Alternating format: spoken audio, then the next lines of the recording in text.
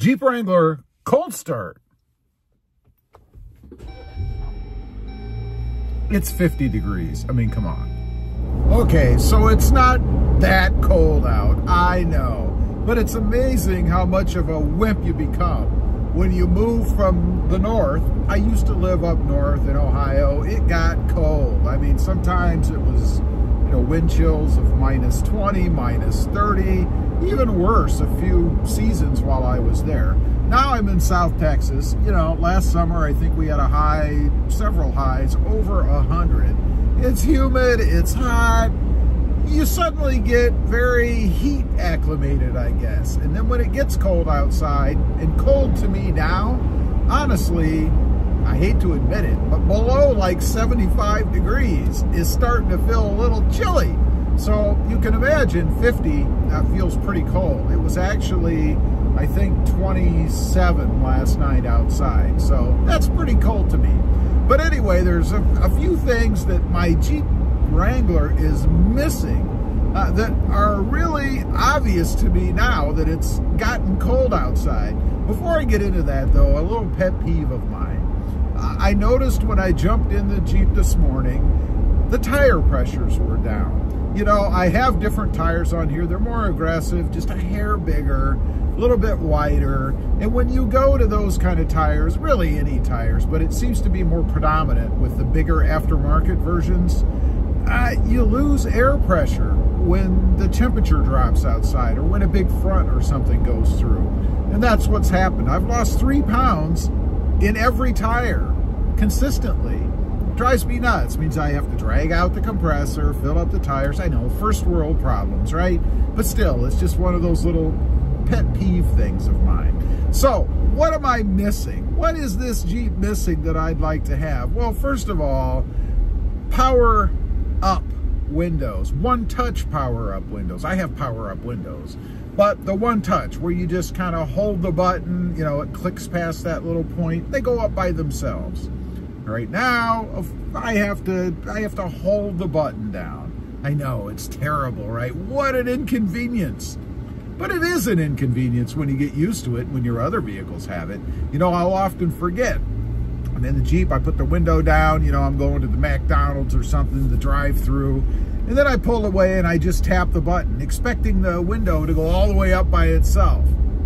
Course, that does not happen. Just one of those things I wish I had. And I think there might be uh, a couple of aftermarket kits out there uh, that will allow you to do that, but they seem to be rather involved. I'll have to investigate them a little bit further.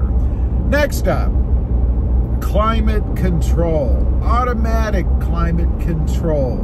I don't have that in this Jeep. What I have is the older style uh, manual version. So you have to turn the heat on and then you have to adjust the level that you want the heat at manually.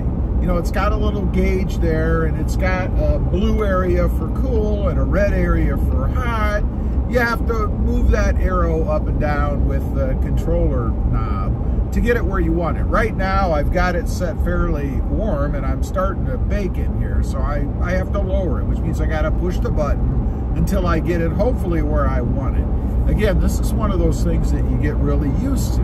In my other vehicles, I have climate control.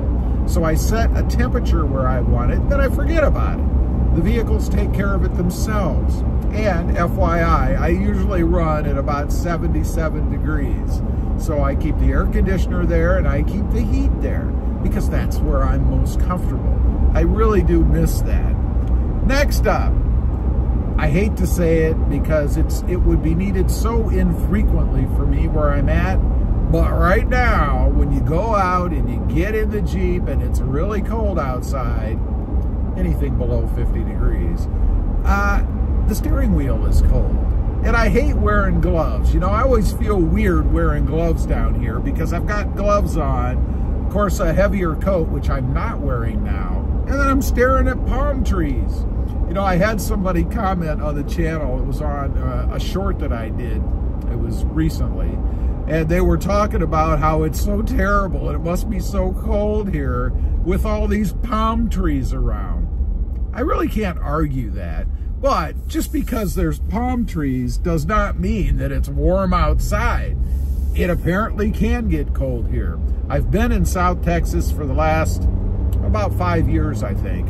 And we've had cold snaps like this, I believe three out of those five years where we've had more than one day of sub-freezing temperatures. Of course, the plants hate that. Palm trees don't like that. They don't grow in those kind of climates. There's been a few that have died around here because of it. And if you didn't know, the way that it works, the palm tree center freezes and then it unthaws and it can crack and, and split just like your pipes would if they freeze, right? But also when that happens, they die. And they die from the inside, I believe, from the inside out. So it takes a while. You don't even know what's happening until you start to see the palm fronds turn colors and when you cut those things down, let me tell you, they stink. It's like something crawled up in there and died. It's a horrible smell. Must be a, a pretty painful death for the tree too. I don't know. But anyway, those are, are three things that I really do miss. There's one other, and it's it's another petty one, and that is automatic power seats. You know, I would love to have automatic power seats in here. Right now, I've got the manual version where you, you know, you have to crank the handle to raise the seat or turn the knob to move it this way or that way or whatever. Another first world problem, of course, but you get used to these things. And it's always funny too, you know, if you're familiar with the Jeep Wrangler or Jeep in general, uh, they have a handle. The Gladiator has the same thing. They have like a, a strap. It's not a handle. It's like a, a canvas strap. And you have to pull on that to make the seat go forward and backward. I'm talking about the back part of the seat. So if anybody ever gets in that's not you and drives your vehicle, uh, it's going to be off. And I run into this on my mother's Jeep Wrangler because I always tilt the seat apparently pretty far back, I'm told. And others that ride in there with her do not. So I get in that and I'm trying to remember and trying to feel around and find that canvas strap so I can pull on it to get the seat angle the way that I want it. Just another one of those little pet peeve type things that drives me nuts. Now, to close on here, I, I have to comment on the heater, right? I will say the Jeep Wrangler has a pretty darn strong heater because not long after I pulled out of the garage, uh, the heat really started to kick in at a point where I actually had to turn it down because it's too hot. And I'm almost there again.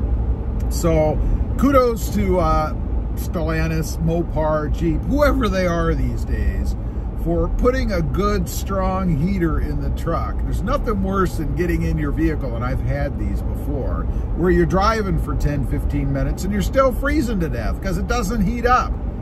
That drives me nuts. Anyway, I just wanted to get on, kind of run through, you know, a handful of things, I guess, that I don't have in the Wrangler that I wish I did. And that's probably a reason to maybe go a little higher in trim level because I'm sure if you go up a bit higher, uh, you probably get some of these things anyway. Leave a comment. Let me know. If you're driving around in a Jeep Wrangler, what do you miss that maybe is available in some of your other vehicles or that you've had in other vehicles. I'd just be curious to know. Thanks for watching. Stay warm out there. Bye.